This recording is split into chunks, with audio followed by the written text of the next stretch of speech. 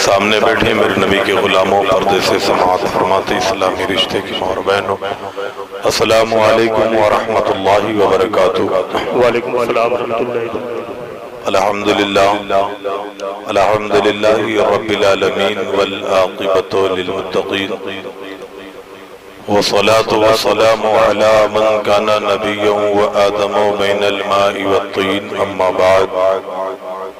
फ़अऊज़ु बिल्लाहि मिनश शैतानिर रजीम बिस्मिल्लाहिर रहमानिर रहीम वकाल अल्लाह तबारक व तआला फिल कुरानिल मजीद वल फुरकानिल हमीद इन्ना अक्रमकुम इंदल्लाहि अतकाकुम सदक़ल्लाहुल मौलाना अज़ीम व सदका रसूलुहुन नबियुल अमीनुल मतीनुल करीम अला ज़ालिका लमिनश शाहिदीन व शाकिरीन व ज़ाकिरीन वल्हम्दुलिल्लाहि रब्बिल आलमीन आइए कुछ अर्ज़ मारू से पेशतर इमामुल अंबिया के हुजूर अपने गुलामी का सबूत देते हुए आवाज़ बुलंद शरीफ पढ़ लें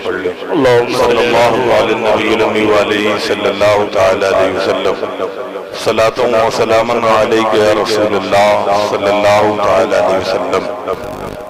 हजरात, हमारी और आपकी मुश्तरका खुशनसीबी है कभी थोड़ी ही देर में हमारे और आपके मुर्शिद मुरब्बी हुजूर मखदूम मिल्लत की तशरीफ़ आवरी होगी और हम और आप उनके चेहरे की जियारत करके अपने नाम आमाल में नेकियों का इजाफा करेंगे। यकीनन हम और आप अपने नसीबा पर जितना नाज करें कम है। दौरे हाजिर में बेशुमार पीर हैं और तमाम सुन्नी अकीदा पीरों की शान हमारे सराखों पर है।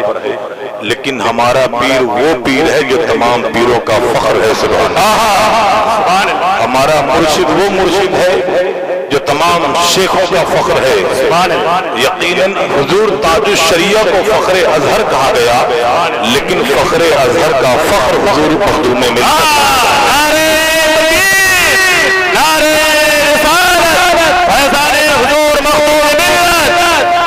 अगर मैं यूँ कहूँ अपनी हकीकत भरे लहजे में कि आला हज़रत ने अहले सुन्नत वल जमात को जिसके हवाले किया, वो साथ हुजूर मुफ्ती आज़म हिंद की है। हुजूर मुफ्ती आज़म हिंद ने अहले सुन्नत वल जमात को जिसके हवाले किया, वो जात ताजु शरिया की है। और ताजु शरिया ने अहले सुन्नत वल जमात को जिसके हवाले किया, वो जात हुजूर मखदूम मिल्लत की है। वो और आपके पीर मुर्शिद की है। थोड़ी ही देर में हम और आप उनके चेहरे की जियारत करेंगे। यकीनन अल्लाह इज़्ज़त ने हमारे पीर को वो शान बख्शी है कि जितना कसीदा पढ़ा जाए कम है।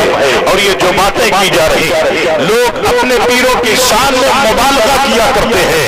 लेकिन कसम है काबे की, हमारे पीर की शान में हमने जो बात कही है ये बात कमाल के की नहीं बल्कि मुशाहिदे की है। जितना तकवा हुजूर मखदूम मिल्लत की साथ में नज़र आता है। यकीनन ऐसा कोई पीर नज़र नहीं आता कि जिसके अंदर जमी बुर्दवारी भी हो इतना इल्म भी हो इतना इल्म भी हो इतना तकवा भी हो इतनी परहेजगारी भी हो जमाना यूँ ही उन्हें रईस गंदिया नहीं कहती उनके तकवे को देख करके कहती है उनके परहेजगारी को देख करके कहती है उनके इल्म को देख करके है। उनकी बुजुर्गी को करके कहती है। और आप जरा देखो तो सही, जिसे देखो वही यकीन मसलद मशैखियत पर बैठ करके यकीन इरशाद फरमाया करता है। आओ आओ सैयदी सरकार गौसे आज़म की बारगाह में चला जाए। और पूछा जाए, हुजूर, क्या हर इंसान यकीनन शेख बन सकता है? क्या हर इंसान मुर्शिद मुरब्बी बन सकता है? तो कलायदुल जवाहिर में हुजूर सैयदना गौसे आज़म फरमाते हैं कि जिस इंसान के अंदर ये बारह खूबियाँ पाई जाए। वही इंसान शेख बनने के काबिल है। वही इंसान मसनद इरशाद पे बैठने के काबिल है। वही इंसान मुर्शिद बनने के काबिल है। लोगों ने पूछा, हुजूर, वो बारह खूबियाँ क्या है? आपने फरमाया, नंबर एक, मुर्शिद के अंदर दो सिफत अल्लाह वाली होनी चाहिए। लोगों ने अर्ज़ की हुजूर, वो दो सिफत अल्लाह वाली कौन सी है? फरमाया, जो तुम्हारा पीर हो, जो तुम्हारा मुर्शिद हो, वो सत्तार भी हो गफ्फार भी हो, लोगों के ऐसे पर पर्दा भी डालता हो और लोगों को मुआफ दिया करता हो। आज अमूमन देखने को मिलता है। अक्सर बेहतर भी रहते हैं कि फला मुरीद की बुराई फला से, फला की बुराई फला से, फला की बुराई फला से। हमने हमने शेख को पर्दा पोष पाया और इनकी बार में अगर किसी से कोई गलती हो गई तो माफ़ करने वाला भी पाया, क्योंकि ये बुजुर्गाने दीन की सिफत रही है। दीन का तरीका रहा है। हज़रत हासिम आदम की बारगाह में एक औरत मसला पूछने के लिए। जब वो मसला पूछने वाली हुई तो उसकी हवा खारिज हो जाती है। अब वो बाबा की बारगाह में बैठ करके हज़रत की बारगाह में बैठ करके शर्मिंदा होने लगी। इतने बड़े अल्लाह अल्लाह के वली की बारगाह में, मुझसे ये गैर मुनासिब अमल हो गया। मुझसे ऐसा अमल हो गया, जो किसी अदबदार महफिल में नहीं हुआ करता। जब उसे शर्मिंदा देखा हज़रत ख्वाजा हातिम असम ने तो आपने कहा बीवी तुमने क्या बोला? थोड़ा ज़ोर से बोलो मैं ऊँचा सुना करता हूँ। अजीजा ने वकार लिखने वालों ने लिखा कि जब तक वो खातून जिंदी रही आप पहले बन करके ज़िंदगी गुजारते रहे। किस लिए ताकि उस औरत की एक ऐब पर पर्दा डाला जा सके एक ऐब को छुपाया जा सके। तो पीर जो होता है वो ऐब पोष भी होता है माफ़ करने वाला भी होता है। कोई माफ़ करने वाला नहीं तो सरकार पाक फरमाते हैं। उसे मसनद इरशाद पे बैठने का हक हासिल नहीं है।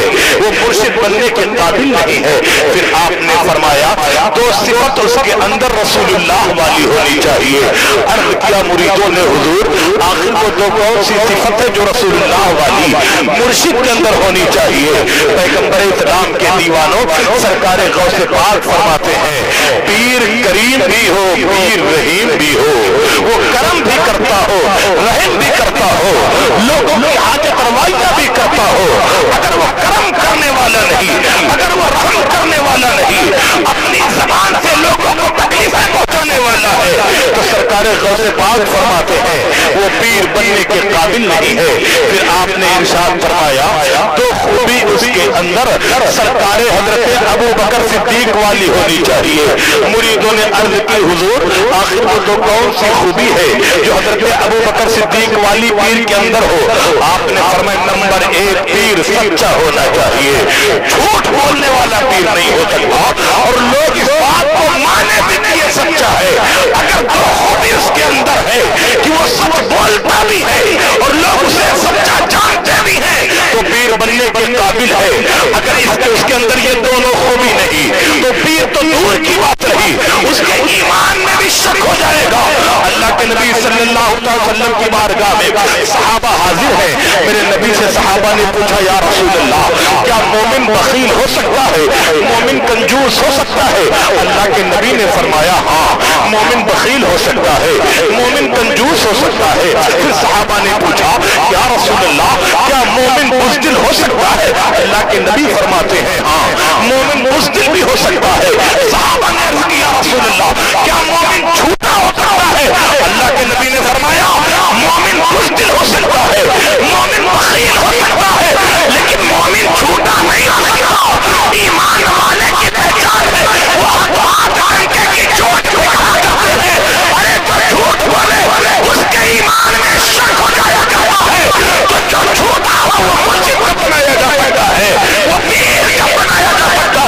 तो जिसे बनाओ, उसे देखो कि उसके अंदर झूठ बोलने वाली क्वालिटी तो नहीं है। उसे लोग झूठा तो नहीं समझते। अगर उसके अंदर ये क्वालिटी है कि वो झूठ बोला करता है और लोग उसे झूठा समझते हैं तो सरकार गौसे पाक फरमाते हैं, ऐसा शख्स पीर बनने के काबिल नहीं, ऐसा शख्स मसीहियत की गद्दी पर बैठने के काबिल नहीं। फिर आपने फरमाया तो खूबी हज़रत उमर फारूक वाली होनी चाहिए। का हुजूर, वो दो खूबी जनाब उमर वाली कौन सी है? नंबर एक, यकीनन वो हक बात, सच्ची बात, अच्छी बात का ऐलान करने वाला हो। नेकी की दावत देने वाला हो, बुराई से मना करने वाला हो, अगर कोई पीर साहब किसी शेख मुरीद को देख करके उसकी बुराई पे ना टोकते हो तो ऐसा शख्स शेख बनने के काबिल नहीं, पीर बनने के काबिल नहीं। हमने अपनी आँखों से देखा है, हुजूर मखदूम मिल्लत की बातें करा रही थी। एक शख्स जिसके चेहरे पर दाढ़ी नहीं थी पीरो मुर्शिद ने ऐलान करके कहा अगर चेहरे पर सुन्नत नहीं है तो मिंबर रसूल पर बैठने का हक भी नहीं है लिहाजा ये क्या होता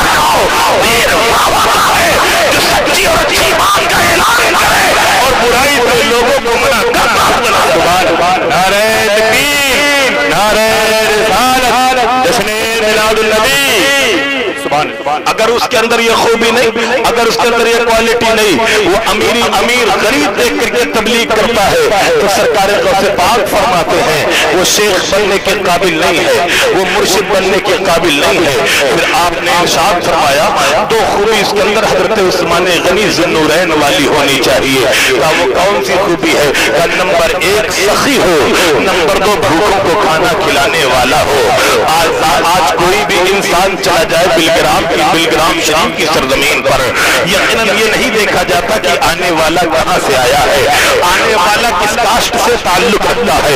आने वाले की बिरादरी क्या का क्या है? आने वाले का रंग रूप क्या है? वक्त होता है। ऐलान ऐलान करता है। लोगों बात पहले चल करके खाना खा लो, पहले चल करके अपने पेट को भर लो, पहले चल करके तुम अपनी ज़रूरत पूरी कर लो। ऐसी बहुत खान काहे हैं, जहाँ लोगों की जरूरतों का ख्याल रखा जाता हो।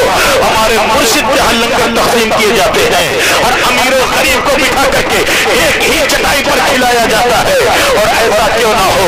आप जानते सरकारी कौन पाक फरमाते हैं, बहुत बड़ी नेकी का नाम है, भूखे को खाना खिलाना, भूखे के पेट को भरना आज वही काम बिलग्राम शरीफ में भी हो रहा है जो यकीन हमारे खिलाफ ने तरीका बयान किया था अगर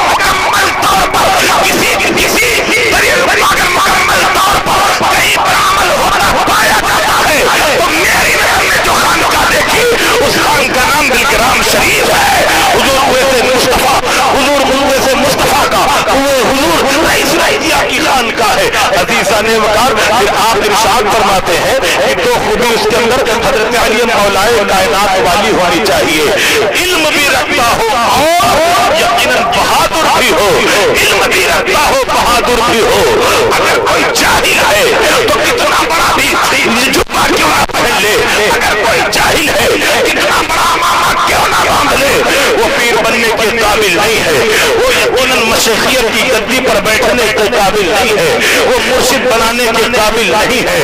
अजीजा ने वकार, यकीनन जाहिल अल्लाह का वली नहीं हो सकता।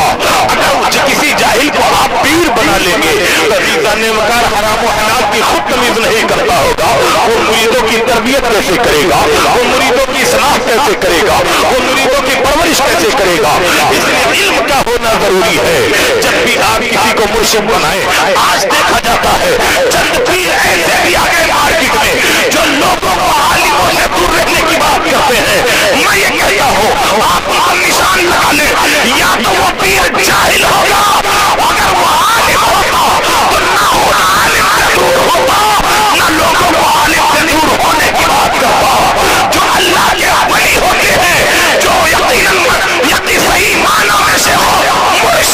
हैं हो हैं हैं और इल्म वालों की कब्र तारीफ़ करते हैं आज कुछ लोगों ने कहना शुरू कर दिया वलियों की और औरमा भी आपस नहीं बना करती और खान का है हज़रत अब्दुल रशीद जौनपुरी अली रहमा की खान का जिन्होंने यकीन आपने आप बहुत बड़े मुसन्निफ भी हैं और अल्लाह के वली भी हैं। जब आपके इंतकाल का वक्त आया, जब आपकी जागनी का वक्त आया तो आपने अपने मुरीदों को पास बुलाया और सुनो, मैं एक वसीयत करता हूँ उस पर अमल करना। मुरीदों ने कहा, हुजूर, कौन सी वसीयत है? कहा, जब मैं इंतकाल कर जाऊँ तो सुनो, मेरे कब्र में उस जगह की ईटें लगाना, जिस जगह पर मेरे मदरसे में वाले तालिब इल्म अपने जूते उतारा करते हैं। यकीन ये नेक वलियों की पहचान रही है, अल्लाह वालों की पहचान रही है, उन्होंने सिर्फ़ आलिमों से मोहब्बत नहीं की। आलिम की जूती पे लगने वाली ईटों का भी एहतराम किया। और फरमाया, मेरी मदार में उसी ईट को लगाना जहाँ पर मेरे मदारिस के तलबा अपने जूती उतारा करते हैं, अपने चप्पल उतारा करते हैं।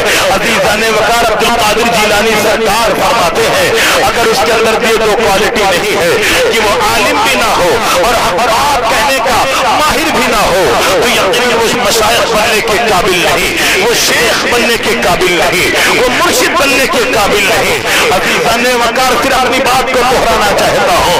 हम शुक्र करें अल्लाह का कि अल्लाह ने हमें ऐसा मुर्शिद दिया है ऐसा शेख दिया है कि हमने सैयद हुए थे मुस्तफ़ा साहब को उनके चमचमाता मुझे नहीं पता उनके उनके शमले को देख करके उनके सामने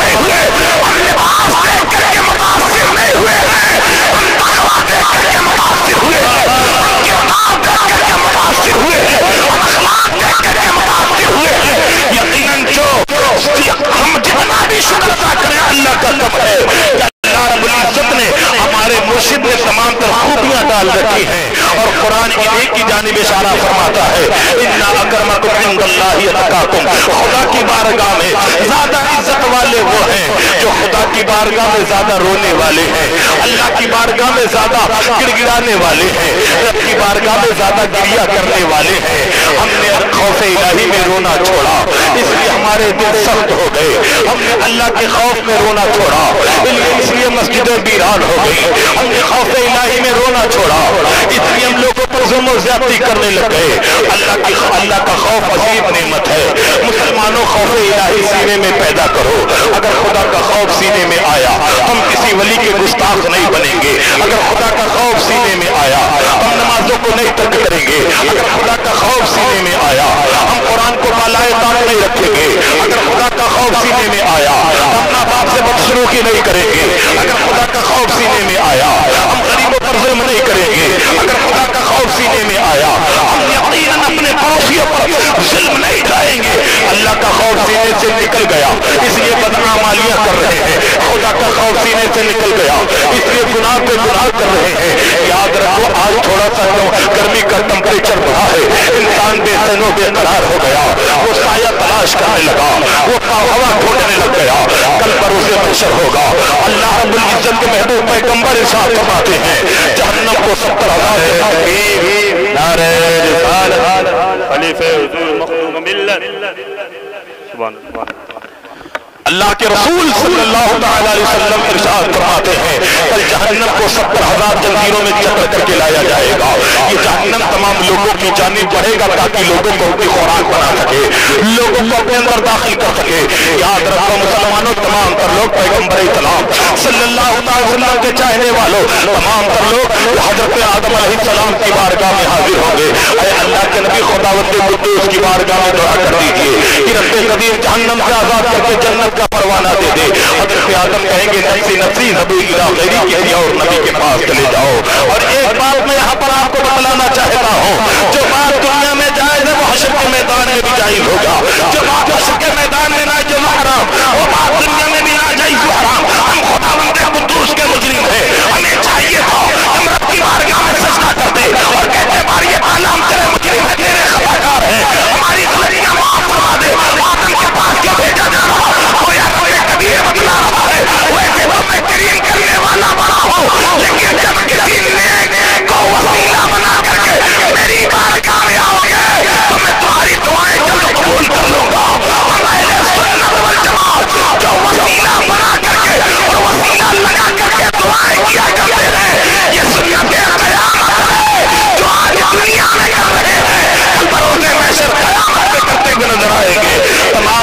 हज़रत आदम के पास जाएँगे। आदम सलाम आप अल्लाह के अंदर गुजीदा पैगंबर है। खुदा बंदे कुद्दूस की बारगाह में दुआ कर दीजिए कि रब्बे कदीर जहन्नम से करके जन्नत का परवाना दे दे। अलैहिस्सलाम कहेंगे, नफसी नफसी, नबूला गैरी किसी और नबी के पास चले जाओ। एक के बाद तीसरे होते हुए तमाम लोग हज़रत नूह नजीबुल्लाह के पास जाएँगे। अल्लाह के नबी, आप अल्लाह के बरगुजीदा पैगंबर है। खुदा कुद्दूस की बारगाह में दुआ कर दीजिए कि रब्बे कदीर जहन्नम से आज़ाद करके जन्नत का परवाना दे दे। आज गर्मी का टेम्परेचर थोड़ा बढ़ा। हम बेचैनो बेकरार हो गए। हज़रत इमाम गजाली मुकाशफतुल में तहरीर फरमाते हैं कि गर्मी और सर्दी जहन्नम के सांस लेने की वजह से हुआ करता है। सांस लेती है। गर्मी की तपिश बढ़ जाया करती है। सांस लेती है। सर्दी बढ़ जाया करती है। अगर वो सांस ले तो के ईंधन बना दिए जाएँगे तो हमारा और आपका क्या बनेगा? अजीजा ने बता तमाम लोग अम्बिया की बारगाह हाजिर होंगे अल्लाह के नबी खुदा की बारगाह में दुआ कर दीजिए कि रब्बे कदीर जहन्नम से आज़ाद करके जन्नत का परवाना दे दे। हर नबी यही कहेगा, नफसी नफसी नबूल ना गई किसी और नबी के पास चले जाओ। अल्लाह के खेलो जलाल का सामना मैं नहीं कर सकता के बाद दीगरे होते हुए तमाम लोग हज़रत की बारगाह में आएँगे। आप अल्लाह के बरगुजीदा पैगंबर हैं। खुदा बंदे कुद्दूस ने आपको बिना बाप बिना बाप के पैदा फरमाया है। लिहाजा खुदा की बारगाह में कर दीजिए। कि जहन्नम से आज़ाद करके जन्नत का परवाना दे दे। कहेंगे नबी ला आज खुदा बंदे कहरो जलाल के आलम में है। कदीर के कहरो जलाल का सामना मैं नहीं कर सकता। किसी और नबी के पास चले जाओ। तमाम लोगों की उम्मीदों का चराग उठने वाला होगा। आँसू की डोरी टूटने वाली होगी। जनाब ईसा कहेंगे, एक ऐसी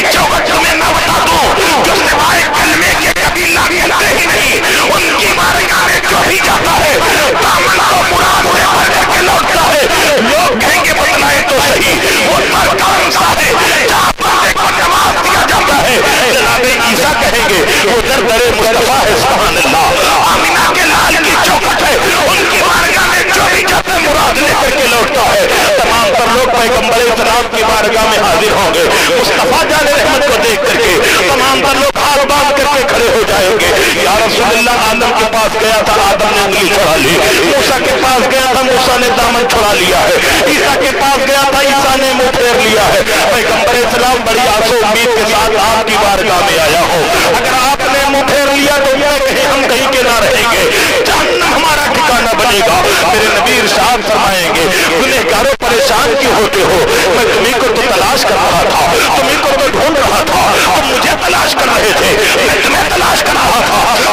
बच्चे को जिस तरह माँ तलाश करे बच्चे को जिस तरह माँ तलाश करे, बस यही हाल मैदान मैशर में सरकार आपका होगा।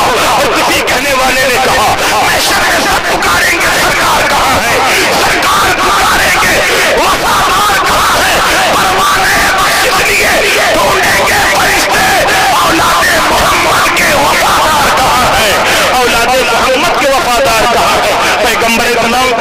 में तमाम तर लोग हाजिर होंगे।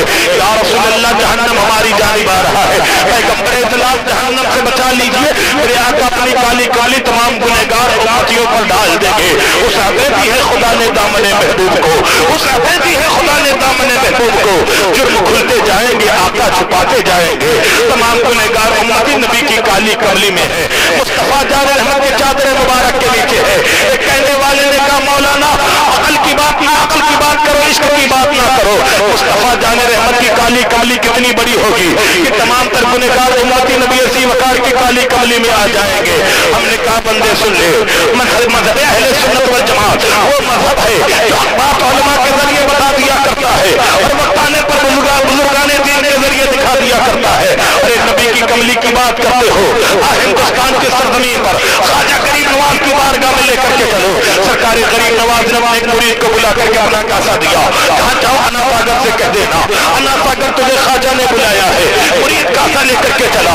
अना सागर तुझे ख्वाजा ने बुलाया है, तारीख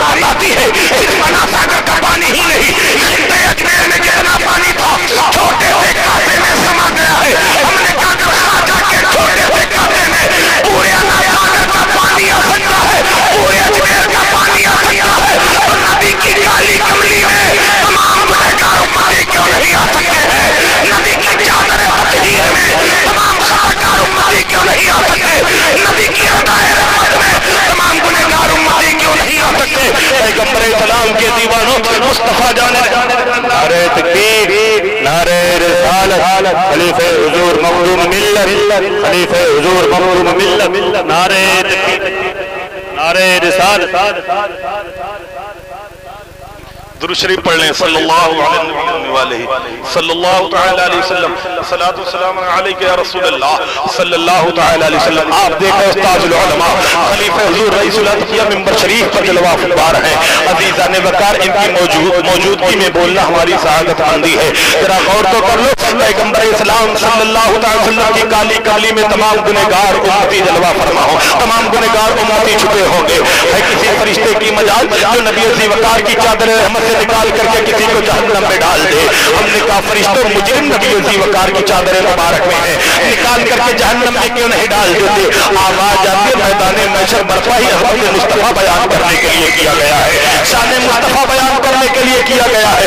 वरना अल्लाह तो जानता ही जानता है कौन जन्नती है कौन जहन्नमी। खुदा जन्नतियों को जन्नत में डाल देता जहन्नमियों को जहन्नम में भेज देता। आखिर मैदान मैशर क्यों बर्पा किया गया?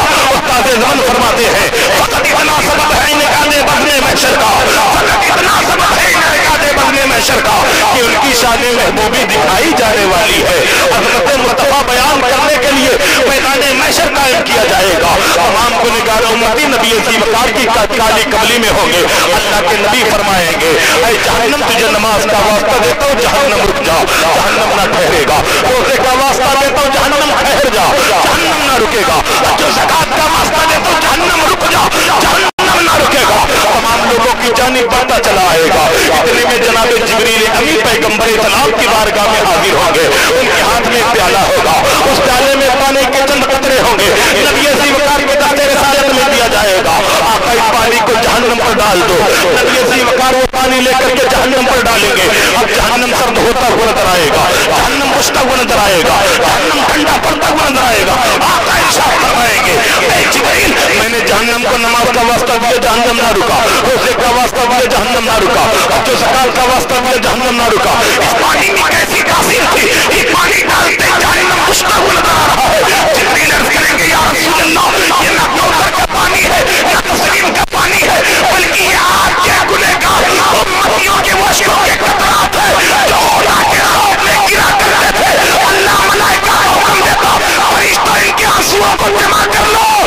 के के के को से का ज़रिया बन जाए मेरे आँसू दुनिया की मोहब्बत में रुलाए बस मुझे तेरी मोहब्बत, या रसूल अल्लाह खुदा की बारगाह में रोने वाला ज़्यादा इज़्ज़त वाला है। अल्लाह रब्बुल इज़्ज़त की बारगाह में, क्रिया करने वाला ज़्यादा खुदा की बारगाह में मकबूल हुआ करता है। और जानते दुनिया के खौफ में, आखिरत के खौफ में खौफ इलाही में एक फ़र्क ये है इंसान दुनिया में जिस चीज़ से खौफ खाता है उससे दूरी बनाया करता है। हम शेर से डरते, शेर के करीब नहीं जाते। हम सांप से डरते, सांप के करीब नहीं जाते। हम बिजली के झटकों से डरते, बिजली के झटके के करीब नहीं जाते। लेकिन इंसान के खौफ से दूरी बनाया करता है। जिसके सीने में जितना खौफ इलाही होगा वो खुदा के ज़्यादा करीब हो जाएगा खुदा की बारगाह में उतना कबूल हो जाएगा अल्लाह रब्बुल सबकी बारगाह उसे उतनी मकाम हो जाएगी पैगंबर इस्लाम शफात शफात उजमा का ताज तबीयत वकार की जबीन अब्दत से बांधा जाएगा और पैगंबर इस्लाम सबसे पहले शफात करेंगे एक सवाल पैदा होता है बयान करने वाला बयान करता है सुनने वाले सुनते हैं पढ़ने वाले पढ़ते हैं लिखने वाले लिखते हैं कि सबसे पहले शफात मोहम्मद रसूलुल्लाह करेंगे तो आदम के पास क्यों भेजा गया ईसा के पास क्यों भेजा गया मूसा के पास क्यों भेजा गया दाऊद के पास क्यों भेजा गया को पता था एक जमात पैदा होगी जो अहमद मुस्तफ़ा की मुनकिर होगी। मैंने आदम की बारगाह में, मूसा की बारगाह में, ईसा की बारगाह में तमाम लोगों को इसलिए दौड़ा लिया ताकि लोगों को पता चल जाए, जो काम कोई नहीं कर सकता, वो काम अमीना के लाल किया करते हैं, हमारे आका किया करते हैं, मोहम्मद रसूलुल्लाह किया करते हैं। इन्ना अकरमकुम इंदल्लाहि अतकाकुम खुदा की बारगाह में ज़्यादा इज़्ज़त वाला वो है कि रब की बारगाह में ज़्यादा रोने वाला है। गिरिया करने वाला है तौबा इस्तगफार करने वाला है अस्तगफिरुल्लाह रब्बी मिन कुल्ली ज़ंबि व अतूबु इलैहि व खुदावाना अल्हम्दुलिल्लाहि रब्बिल आलमीन अस्सलामु अलैकुम सुभान अल्लाह